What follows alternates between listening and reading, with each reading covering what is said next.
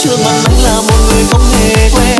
Anh nói anh là người anh nhưng sao còn sống trong mình. Nhưng tôi không nghĩ có lẽ trời ban những câu lời này. Sẽ tốt với sẽ khiến cho tôi được vui. Anh chọn suy nghĩ làm chính em, đâu đâu hạt anh. Facebook kia chính là em nhưng cách này đã bao năm. Giờ em đã lớn, dễ thương hơn ngày xưa. Anh nhìn mà không thấy sao.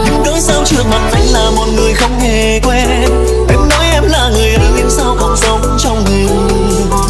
nhưng tôi thầm nghĩ có lẽ do ông trời ban biết đâu người này sẽ tốt với tôi, sẽ khiến cho tôi được vui